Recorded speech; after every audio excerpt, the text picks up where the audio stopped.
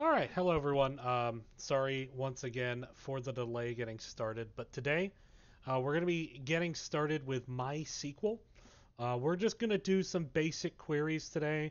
We won't get into any joins, and then we certainly won't get into how to connect this to Java uh, yet today. I just want to at least get us started with basic tables, queries, etc. So today the focus is going to be on SQL databases. Just some announcements first and foremost. Uh, homework 5 now due Friday, was due tomorrow night. Pushing it back two days just because people have been having trouble finding groups with the online nature of the course. I understand that. Additionally, you can work alone starting now um, if you can't find a group. But if you do work alone, it, consider yourself responsible for the two person part of the assignment and still need still use GitHub. Um, if you're going to work alone, commit early and often uh, because we will be grading uh, how commits are done in terms of this project. Uh, that is to say that if you have one very large commit and only one very large commit at the end of the assignment, then we're just not. You're going to lose some points. You're going to lose up to 10 points. Uh, we want to see consistent small commitments over time. We want to see you iteratively build this project. Um, that's kind of a big part of this class is the idea that you don't just sit down and code until you're finished and submit rather you build it up incrementally uh, so that's why we're requiring github for the assignment and i just want to remind everyone up to 10 points can be lost if, if you only have one commit one massive commit that is everything at the end um, excuse me i should say push technically um, so definitely try to work on it together. Try to have those small, consistent commits, and you'll find that it's just easier if you do it that way to handle um, conflicts if and when they arise. Uh, from there, the goal is for exam two grades to be out um, out later this week. By later this week, I mean hopefully tonight, realistically, probably tomorrow night. Uh, there's only a couple questions left to grade, and then we will get the exam out. Finally, there will be a quiz Thursday, which is on JSON, XML, and SQL, which uh, SQL being what we're covering today.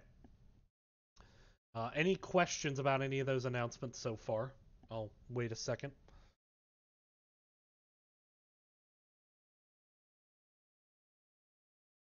And um, one thing that we're going to need to do today is you're going to need to install on your own machine a MySQL uh, database.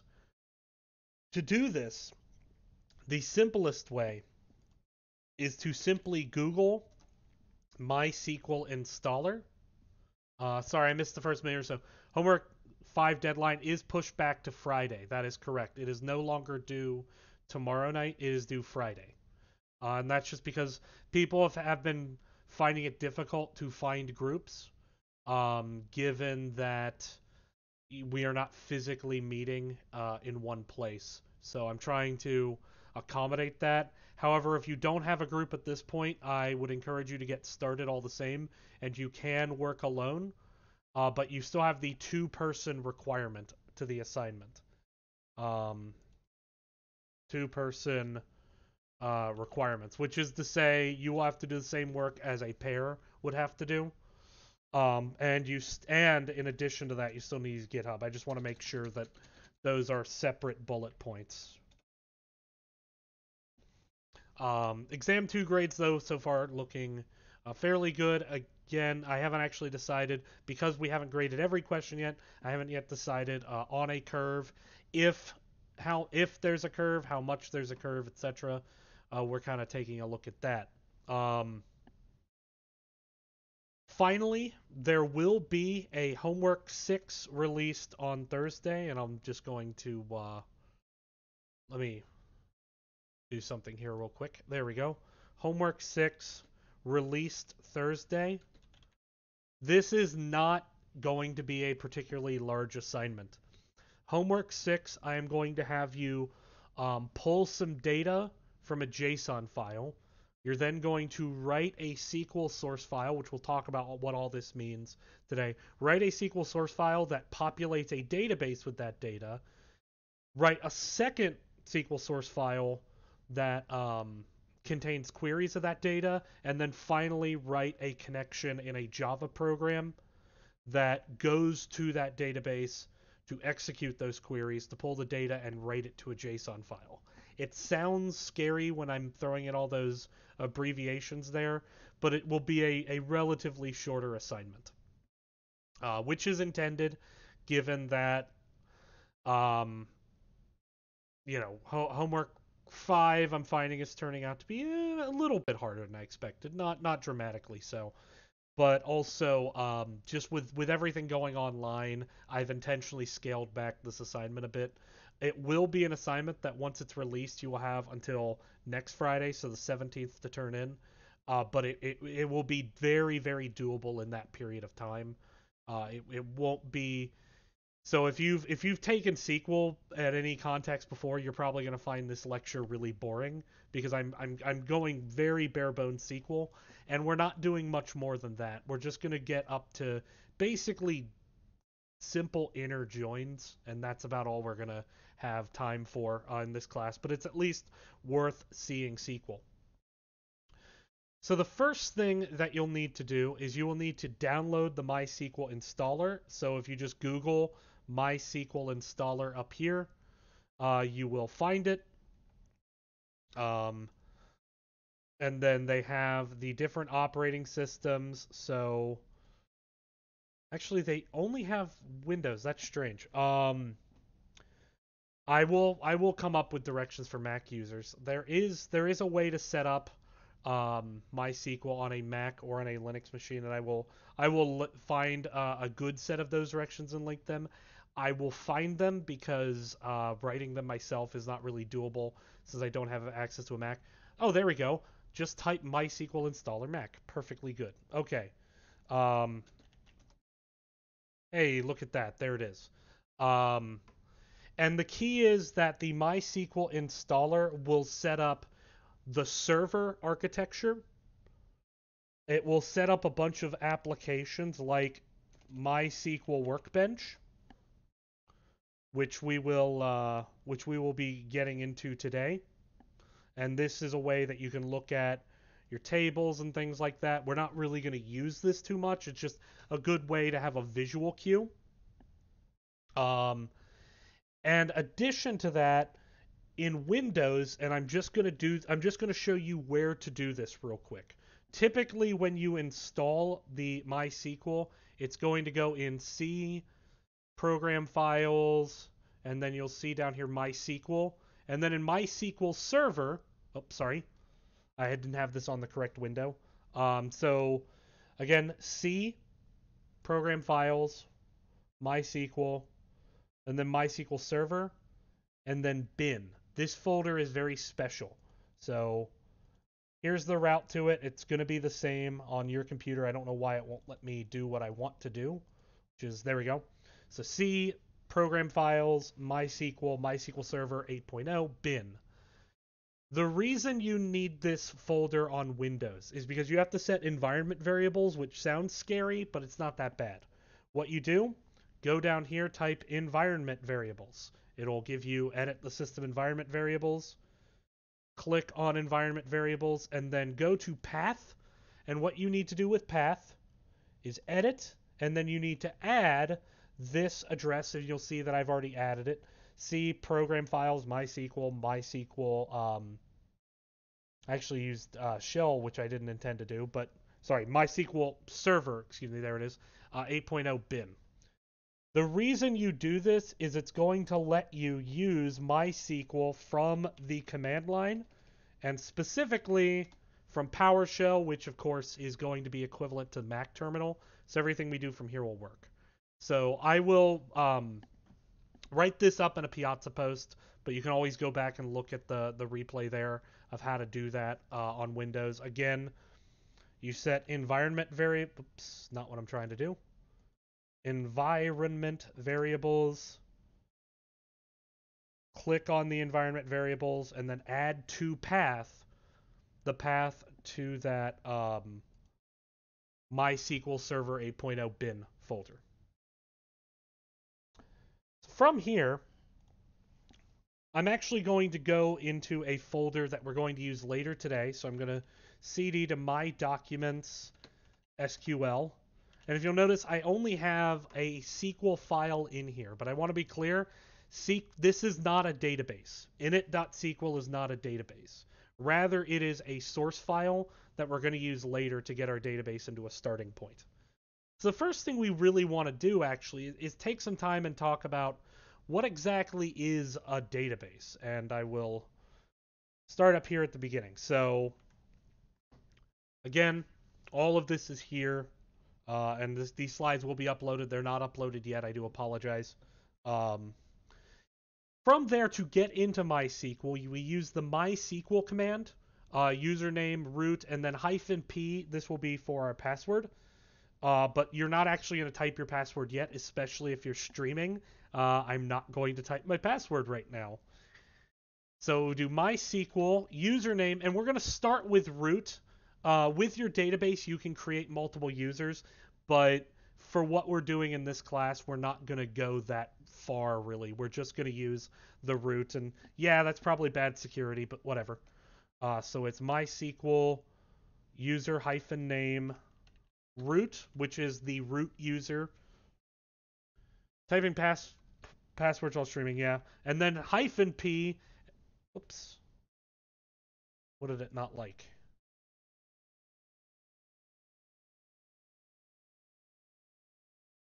Hang on.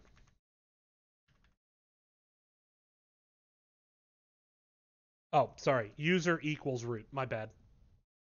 My mistake. And then we're going to type our password, which is rubber ducky. Oh, no.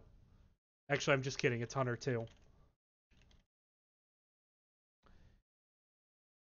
And you will set up this password uh, when you install uh, MySQL.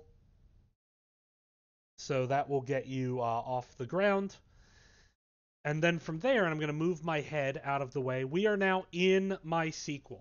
The, you can think of this like being in the database, and we can start mucking around with things here. So what we're going to do is first, I'm going to shrink the size of this window and move it up a bit.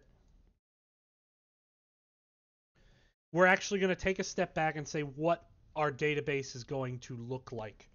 So you can think of database really just as a series of tables. So the idea is each table stores some information in rows and columns. Each row is a record of data. Each column is an attribute. And so, for example, we may have, let's say, a table of courses. If we had a table of courses, that would include, um, you know, a, a, CRN, a course registration number. That is a, a number that uniquely identifies the course uh, specifically within databases. We're going to have a subject, such as CS, a number, such as 2501, like this course, and then a section number and a meeting time. So th- this could be, and I'll move this out of the way for now, this could be what my database looks like. And you organize your database into a series of tables. Now, the thing is, none of these tables exist on their own. We have to create them. So we're going to do that. But now I'm going to take a step back. I'm going to come over here to the whiteboard.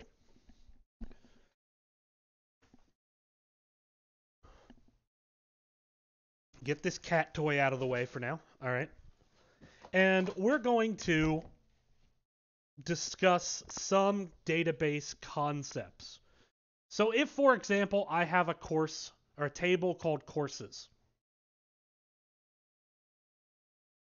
and then I have fields like CRN, looks like an A, CRN, subject, number.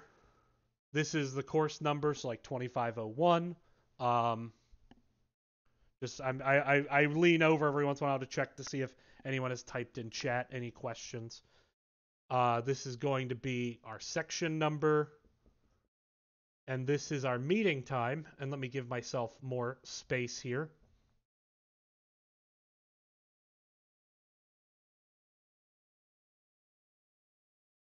The first thing I need to state is I need to define one row that is going to unique, or one column, excuse me, one column that will uniquely identify the different um, rows. That is to say, every column or every record, excuse me, will be uniquely identifiable by the value in one column. So if I have my courses, which column would make the best unique identifier? And we have a word for this, and it's called the primary key.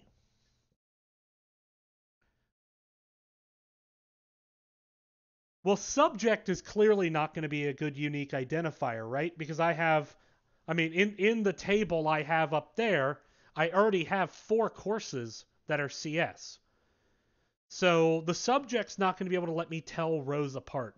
Neither is the number, because I have two uh, different sections with 2501, and they are actually different courses. One is DSA2, the other is uh, this course, SDE.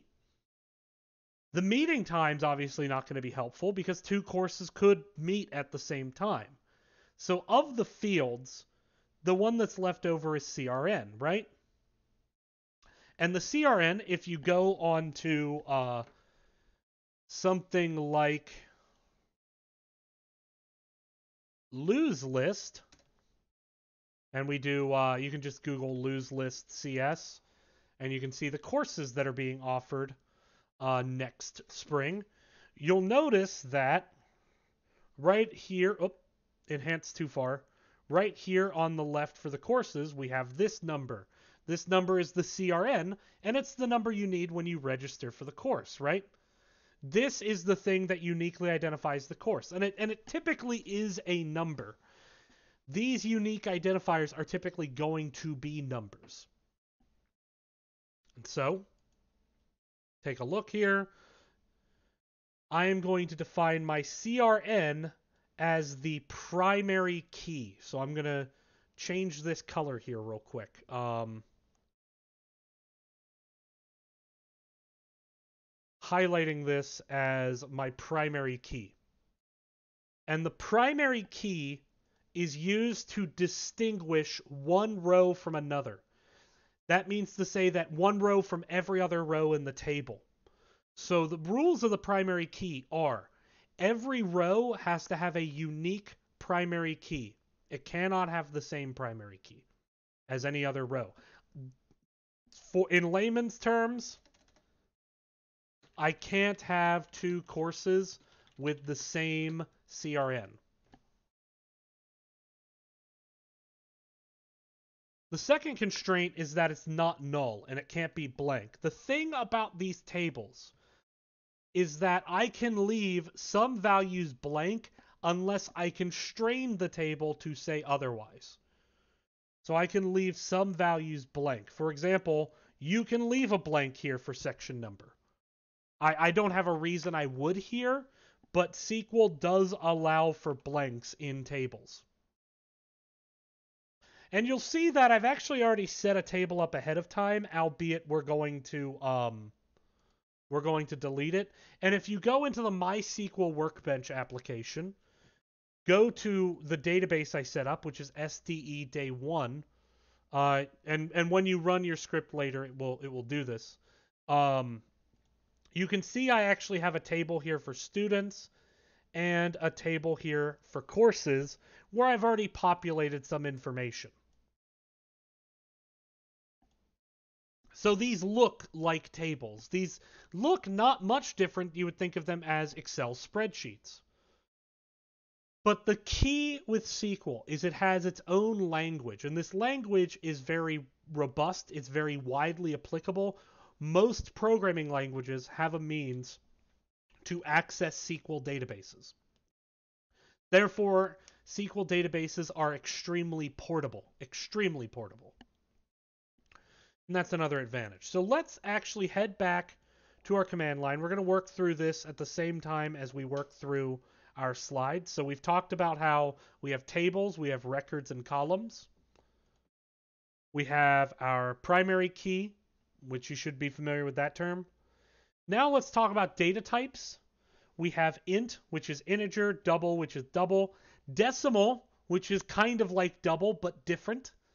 And then we have varchar, uh, which is int size. Now, what's the difference between double and decimal?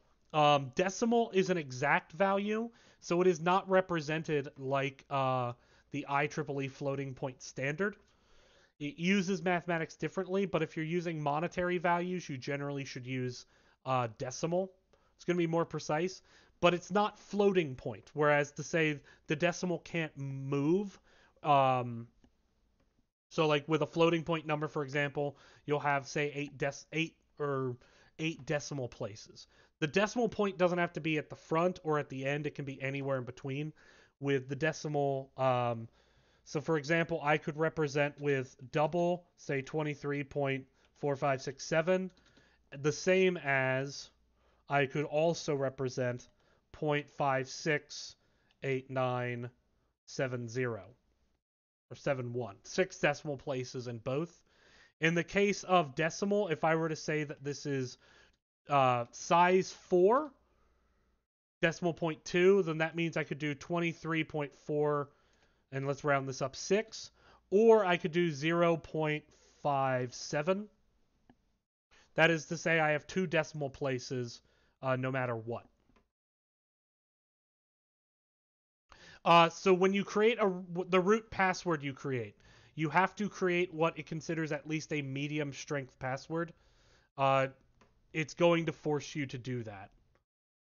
Um, and the the reason for this is because it doesn't want you creating a database with the username root password password because that actually has caused a lot of problems to various companies over the year where someone when they were setting up the database did that and never changed it. And then they made their database publicly accessible over the internet so other people in the company could access it.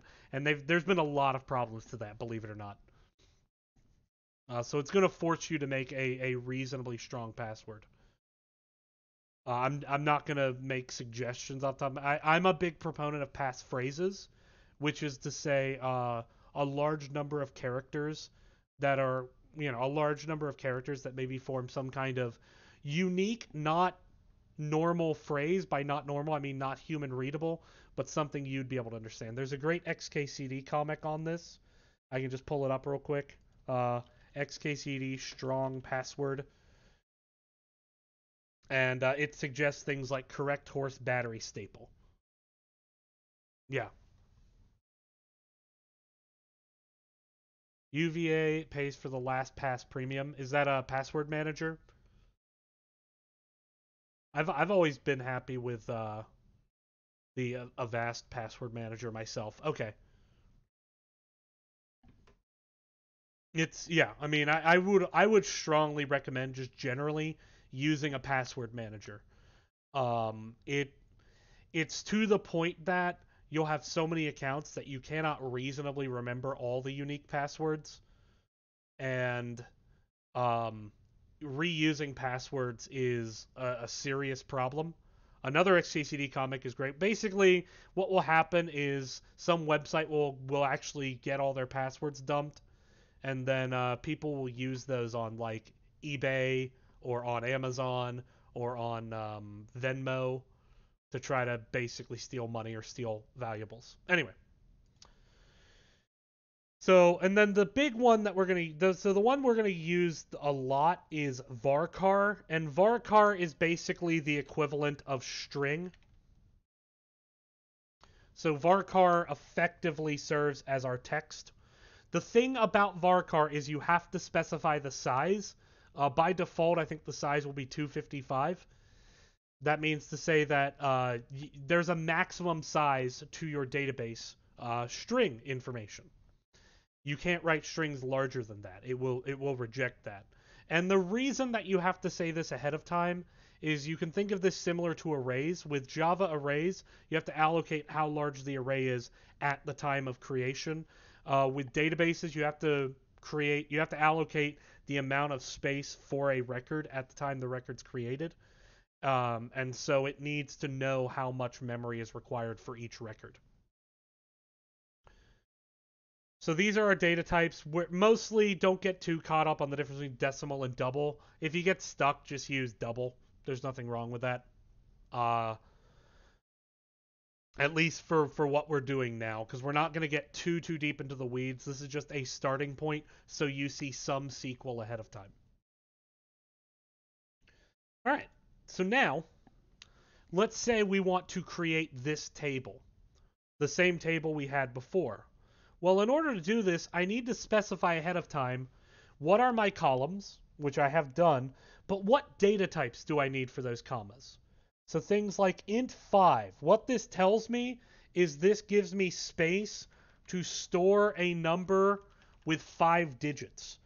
Um, I you don't have to you can just say int. You don't have to say int 5, but this will be useful if you know you only need five digits. It will actually save you a bit of memory. It'll make the presentation look a bit nicer too varchar 4, you do have to specify how large the varchar is. In this case, a subject at UVA. I haven't seen any subjects that are larger than four characters. Uh, let me know if I'm wrong on that, and I'll increase it. The course number is typically four digits. The first digit typically indicating the, the year you take the course, and then the next three numbers uh, being unique to each department as to what they mean. Then we have our section, again, three digits. And then finally our meeting time. And our meeting time, I'm not really doing any kind of strong format for.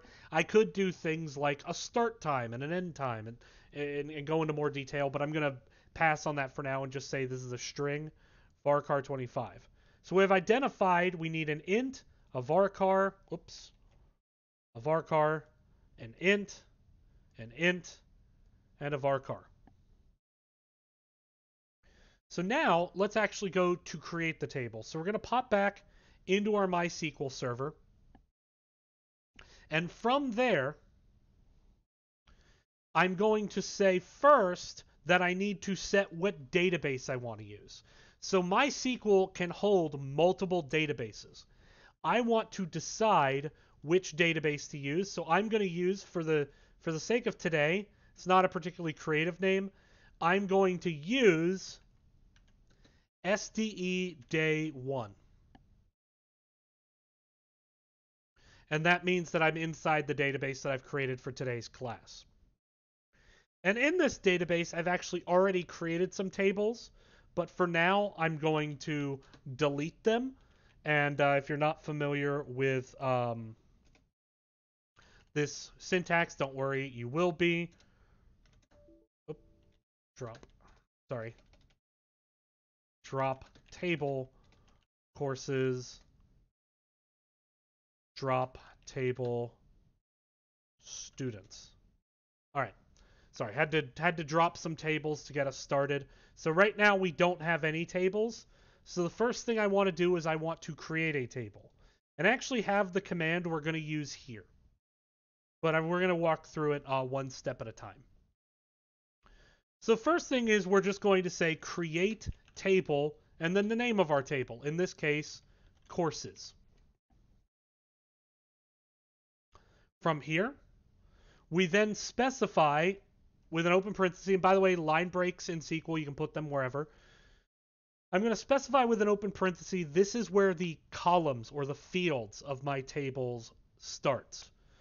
And I'm just going to go through the same table I had here before. Technically, we haven't added any, dable, any data to this yet, so I'm going to delete that. Let me shrink this window. So the fields that I have, the first one is, and we're going to write this as the name and then the data type. It's a bit backwards if you're used to Java or most imperative programming languages. So the name is CRN, and the data type is going to be int5, comma, We separate each field with a comma. And you can separate it with a, a line break. You don't have to. I'm just doing this to make this a bit more readable. So let me move my face down here for a second. No, I just want to move this window. There we go. Subject varchar 4 number int 4 section int 3 meeting and now you cannot actually have spaces in field names uh, so I'm just going to append them title case style meeting time var car 255 I'm then going to close my outer parenthesis. That closes this parenthesis up here. And then every command in MySQL needs to end with semicolon.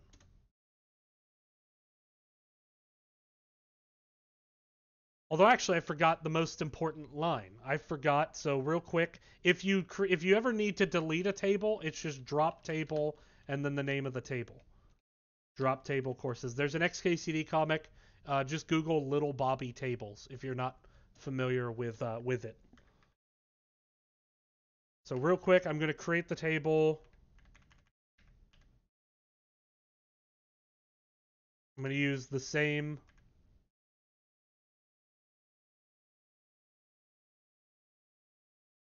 same input, but I'm actually going to add. Uh, can you do multi-threaded operations? Um, you can actually. So if you look the database, the um, and I'll, I'll need to blow this up here real quick. The database has, if you go into the MySQL Workbench, there's a way to see the uh, the database current status. Um, can't remember where it is exactly.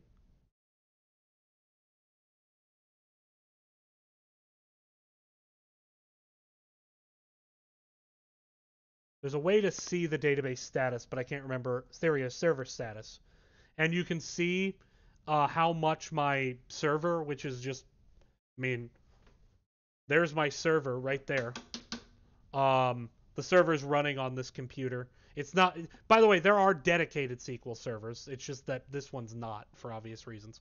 Uh, but you can do multi multi-threaded operations. Uh, you typically do it by just accessing the server with different threads. Slap-proof server. This baby can fit so many records into it. Exactly right. Um, exactly. So, anyway, the the thing that I forgot, which is really important, is we also need to specify what our primary key is, and that's a big one. And it's silly that I forgot. Primary key is going to be CRN. We're saying that our field primary or our field CRN is going to serve not as the primary underscore key, excuse me, just primary key. And what this means is that this field is going to serve as the unique identifier uh, for each row. And now we've created our table. And if I go back to my database and I look under tables, you can see, oh, look, here's courses. Right now, I don't have any data in it, but if you look on your MySQL workbench, you should see it there. Now, yes, you can, by the way, edit the table in here, but we're programmers. We, we don't need we don't need no stinking GUI. So we have our table, but currently it's empty. So the next thing we need to do is add data to it. And we're going to add data to it with the insert into command. So insert into courses. And actually, let me uh, let me one, two, three, four, five. Sorry, I make sure I actually did the right uh, syntax here. I match up the the two things. So we're just going to use this command insert into. And what I want to illustrate oops, And by the way, I just right click and it'll, it'll paste and run. But what this is, is this insert statement is saying what values to insert into a given record. So for example, I have here 1, 2, 3, 4, 5. That coordinates with the first column, CRN. So the fields have to be in the same order as the columns in this case.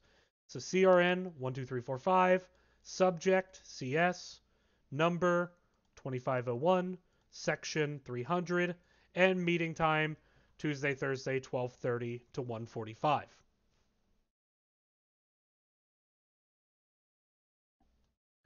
From there, I can insert multiple values at the same time doing something like this.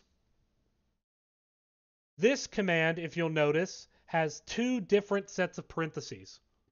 What would it look like if you wanted one of the fields to be blank? Um, we'll get there.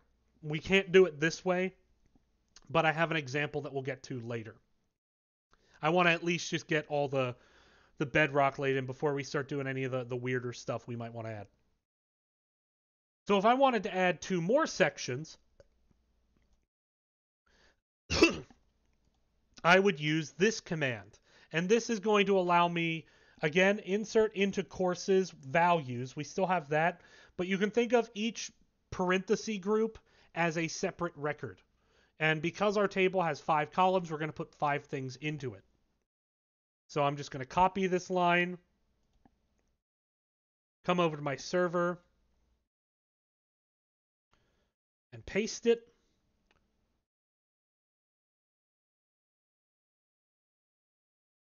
Didn't paste. Hang on.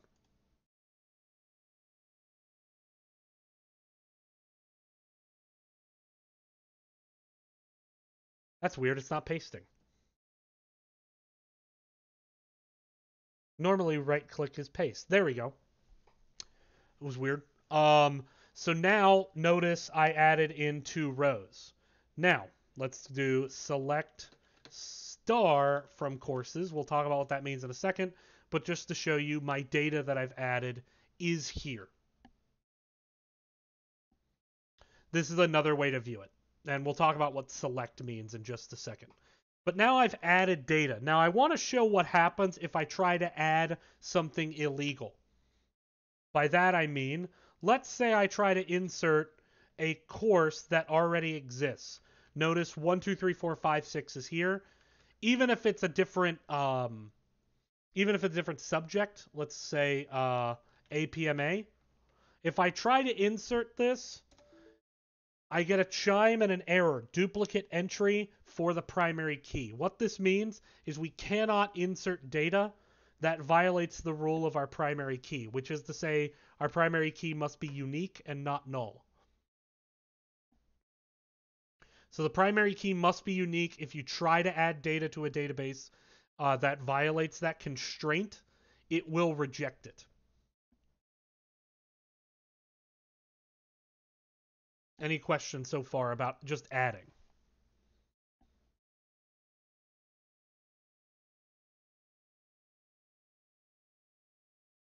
Uh, can you change the primary key after the table has been created? Yes, but not easily. And I, I'm I'm not. So here's here is the God's honest truth. I have been using SQL for years. I would have to Google how to do that because I really go out. I I really really really go out of my way to not do that. There's a there's a uh, the statement is alter table. I know that. Uh, that so there's like you know you know there's drop table, there's select, there's insert. It's alter table, but I don't remember the rest of the command because I really really go out of my way to avoid using it when possible. Uh, because it's a massive pain, especially changing the primary key because you have to then sanitize the database before you change the primary key to make sure the row you're switching to wouldn't violate the primary key constraint it's a whole thing. So you can do it. I, I, I would go out of my way to make sure I don't have to. All right. So now let's get into querying. Uh, querying is the is how you extract information from the table, and the and the simplest query is going to be select star from the name of your table. In this case, courses and it just is going to print all of the information and it's actually a pretty nice print scheme um, It's going to print all the information, so every column and every record. From there, we can constrain this. Let's say I only want the subject and the course number. Well, instead of select star, you can think of star as a wildcard, meaning select everything. I can instead do subject, comma, number. And that's only going to select the subject column and the number column. And if I do that, you'll see this is the table I get. So this allows you to filter what fields you want to see. But again, if you want to see everything, it's just select star. So the format is select blank from blank.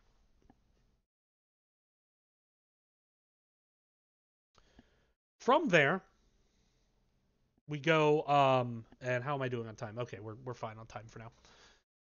From there, we can now do some additional limitations. We can do a filtered query using what is called the where keyword. And the where keyword kind of acts as a Boolean check. If you remember when we did Java streams, we had that filter function, right? That said, hey, if you don't meet this filter, you're kicked out of the stream. Well, that's what this is like. This is exactly like that. And if anything, it, it's it's quite a bit simpler to work with. I can do something like select star from courses where subject equals CS. And now notice, instead of seeing all three rows of our table, like we do up here when we do select star, by the way, you'll see me do this a lot, and it's just because I forget to type semicolon. Will it accept regex? Let's find out. I actually, I've, I've never tried. Let's do select S star. No, that doesn't work. At least not that I'm aware of. Um, I tried. Um, because I, thought maybe that would give me subject and section. I will say that I, have I've not tried to do that. I've either taken everything or I've taken specific columns. I've never I've never tried to be so creative as to use regex in um, at least, I mean, I have in the data, but I do that usually after I download the data from the database into a programming construct. If you put section int 4, would it be possible, would it possibly get confused with the course numbers? Uh, well, so the reason, um, the, the way SQL tells apart the columns is by their name. That would be like saying in, in Java, if I had two ints, would Java get them confused? Well, if, if they have different variable names, no, Java won't get them confused. Um, so it wouldn't get confused with the course numbers. The the reason I have four is just because that's based on my experience here. If I if I were teaching this lecture at Penn, uh, there at Penn all the course numbers have three numbers. Uh, they're not four numbers. So it's things like uh, 110 or uh, 120 or 250 or 350 or whatever. Um, so that's you know university dependent, but even then, uh, it wouldn't get confused. No. So if I just select star from courses where subject is CS, you're just only going to see the records that adhere to that constraint. And you can add things with or subject equals APMA. You can also do something like and section equals 300. And you'll notice that I use quotes anytime I'm looking at a varchar, and I use no quotes when I'm talking about a number field. Uh, you can also use greater than or less than, so section less than 300. You'll see that's what I get. Um, so the where keyword is, is just a, a very straightforward filter. It allows you to select a subset of, of records. Any questions so far?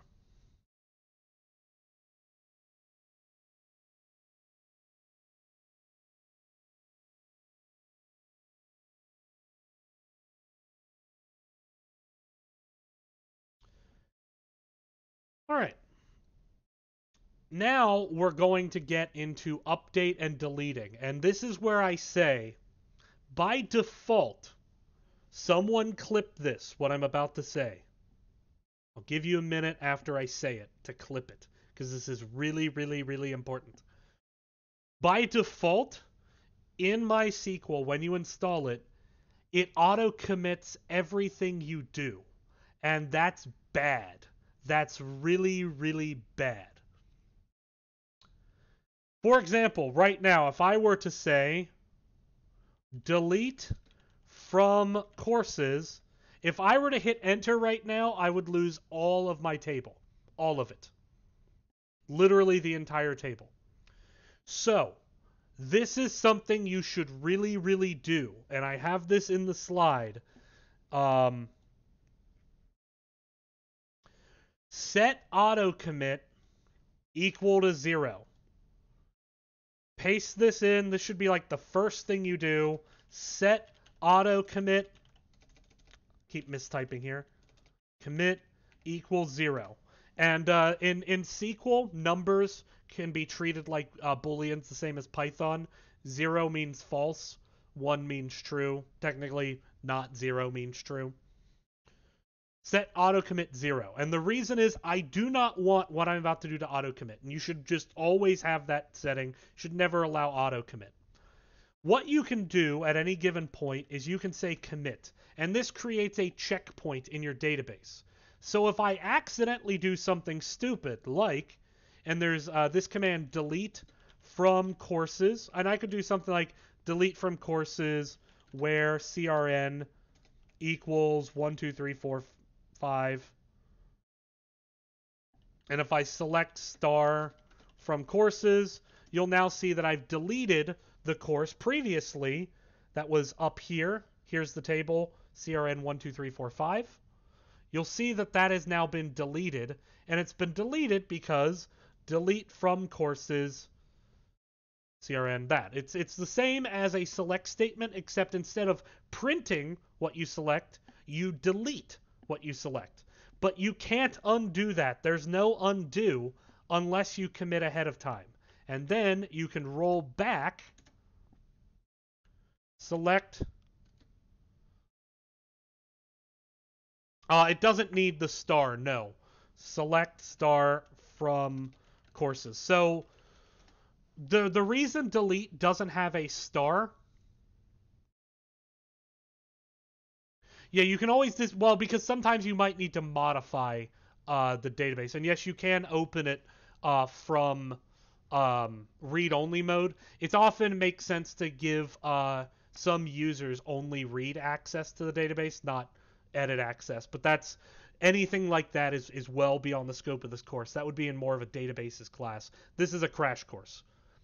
Um, why does delete not have the star? The reason is, remember that when I say select, I'm selecting which columns to show.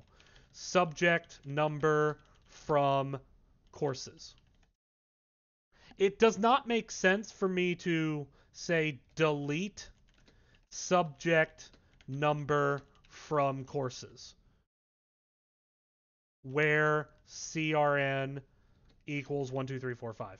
Doesn't really make sense for me to do that because I'm I'm going to delete the entire row when I delete a row. So if I want to delete this row, I'm just going to just say delete. I don't need to specify which columns because it's the entire row that I'm deleting.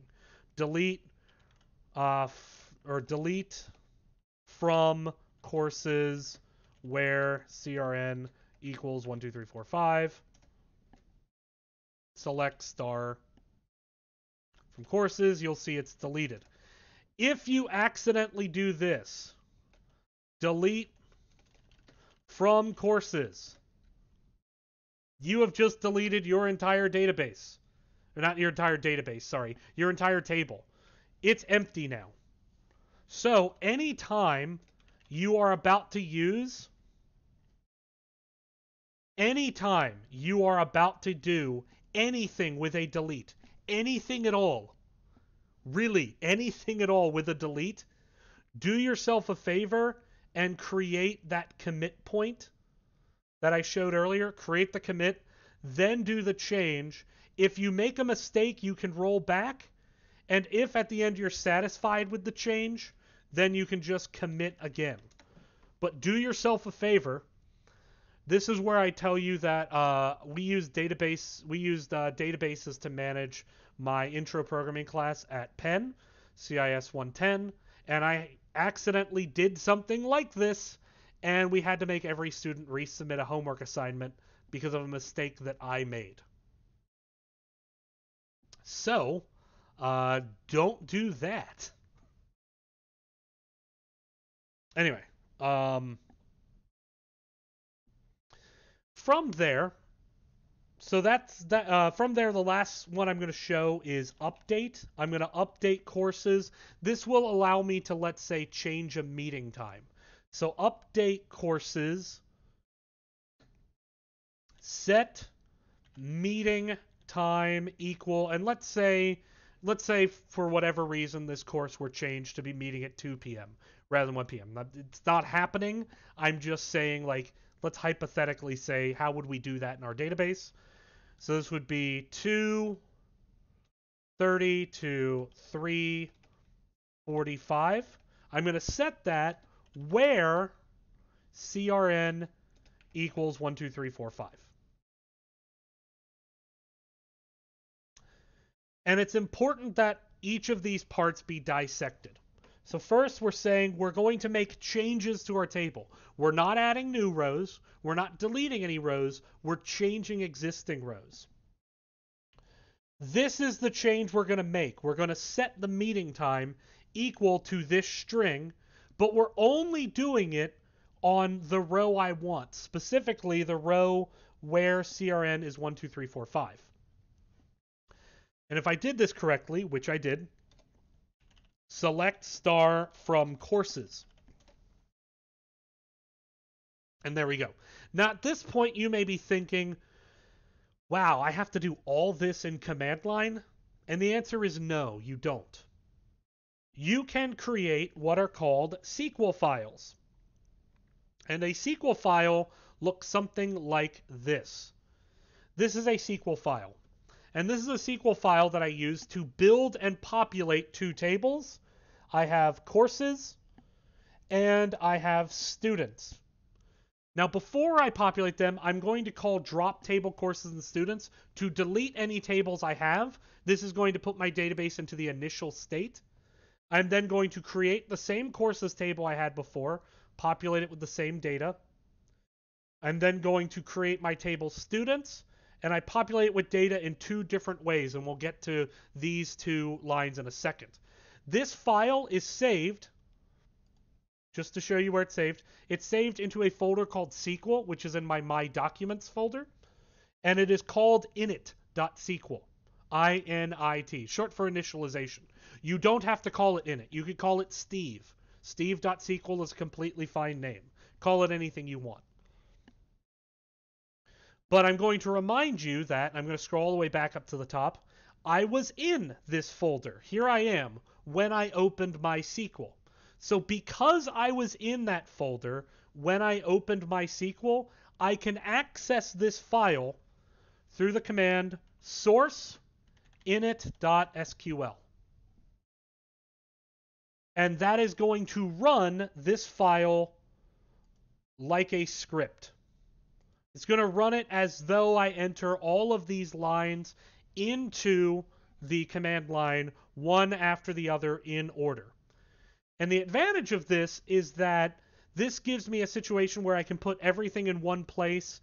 I can test and build this script, and I can do this all separate from the command line, which you really can't do a lot of uh, good editing in the command line. Uh, is there an equivalent to see the script in the directory you're in? What do you to see the scripts available? Um, not that I'm familiar with. The only way I could think would be to do ls, but that's not a MySQL command. So you'd have to do something like exit, which you could do. Exit leaves. Oh, ls. Sorry, yeah. And then you could do an ls I'm not familiar of any way to do that within SQL, but then you can come back up, type in your password, which once again is Hunter2. It's just a very, very long way of typing Hunter2. And then, to my knowledge, there's no way in here. If you find it, certainly let me know. But this is going to let me write and call scripts. Oops. First, you have to be in your database, so use SDE day one. And by, not user, use SDE day one, sorry. And then run my script, and there we go. And this is useful because now notice I have all my data entry over here. So if for whatever reason I lose my table, I've saved all that information there. Then I can do select star from students. And you'll see something interesting here, which we'll get into in a second. And then select star from courses. Could your script disable auto commit? Um, yeah, you could disable auto commit. All you would need to do in your script is do set auto commit equals one. And then if you want to reset it at the end, down here at the end of your script, you can do set auto commit equal to zero. And and I would I oh sorry, I'm blocking that, aren't I? No, I'm not. Yeah, you can see that. That's how I would do it and it and this is the advantage of scripts is it lets you do these things uh, fairly simply so if you've ever written like a bash script before you really it's it's not this is not code you don't compile this this is interpreted so it's a script uh, so it, it live runs each step in order but then from there uh, so I have my table for students. I have my table for courses. We'll talk about how we'll combine these two tables into one table on Thursday. Uh, but I want to illustrate how this table students was created because there's some interesting things in here. So I'm going to scroll down and I want to point out a couple things. First and foremost, we can have um, added constraints to each column. So there's a number of constraints that you can add. First, you specify the data type, but then there are constraints such as not null. Not null means this value is not allowed to be blank. It's not allowed to be empty. Every row has to create it. So I say a student's last name and their student number have to be not null. And if a student is a, has a mononym, which is to say a single name, then we make them put it in their last name field. I also have this thing auto increment. Auto increment is useful. What it does is every time you add a row to your table, it inserts the value, the next available number, um, basically one plus whatever the last data was. This is going to be valuable for generating student numbers, for example. And then from there, I set the primary key to student number. Now notice down here I'm saying insert into students last name, first name, class year. I am specifying here that I'm populating three fields manually. That is, I'm going to enter three. Notice I didn't have student number, but student number was my primary key. Is that okay? Can I do that? It is because of this auto increment. So what this will do is the first student inserted will be given the ID 1, and you can set a default starting value, but I'm not going to get into that right now. The second student will be given 2, the third student will be given 3, and so on. And if you take a look, that's exactly what happened. John Smith got student number 1, Deborah Jones got student number 2, Jack Black got student number 3. In addition to this, so this was how do we insert into a table such that it can create blanks. Let's say I say insert in table students first name, last name, or last name, first name, and I say White Jack, so Jack White in this case. Because I do not specify class year, it is going to leave that blank. Now, I could do something like default equals 1. And if I do this in my script,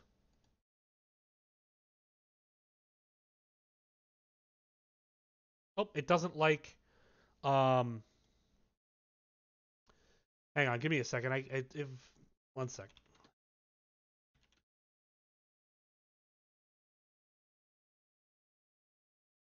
Sorry, you don't say equals one. You just say default one. That was my mistake. I had that in my notes and I just forgot. Uh, so you just say default one. Rerun that script. And then select star from students. And there we go. You can see that by default, Jack White is a first year. By the way, did you know that Jack Black, the actor's parents, were professors? Something to, for me to aspire to with my children, I guess. Anyway, so I will upload this script and these slides uh, to the Collab immediately after lecture ends. But that's our starting point. On Wednesday, or excuse me, on Thursday, on Thursday, we are going to do uh, relationships between tables. We're going to do join queries, and then we're going to look at JDBC. This is a way to do Java queries, Java database queries uh, from a Java environment. And then from there, that will prepare you for homework six, which again, the idea of homework six is JSON to Java. We're going to import it into Java, upload it to a database. Then we're going to run a query, download that into Java, and output that to a JSON file. So that's going to be homework six, and it's not going to be big. It's probably going to be, in terms of amount of code. Well, I guess I mean it. You didn't write any code in homework four, so the second least code writing that you'll do uh, in any assignment if I if I if I write it correctly, which I'm hoping to do. Uh, so that will be out uh, on Thursday, as will a quiz. Um, remember that there is going to be a quiz six. I haven't actually put it on Collab yet, but there's not going to be any questions, and everyone's going to get 10 out of 10 points. Yay! So uh, look forward to that. Any any last questions before we uh, wrap up for the day?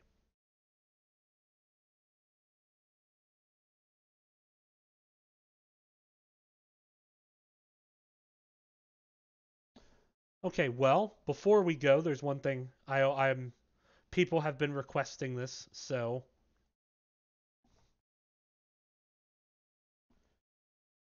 Stewart Cam. Uh no, that's not going to balance. Stewart Cam. Look at that sleepy boy.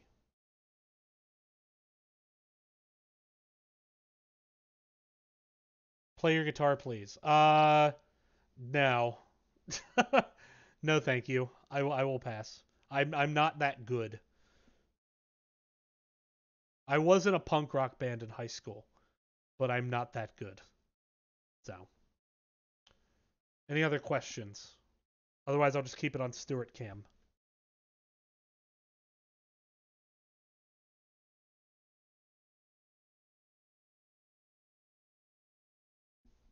Also, I know the color's a bit off. Uh, the reason the color's off is it makes the whiteboard appear better because this is my whiteboard camera. All right. Well, then I will see everyone on Thursday. Take care.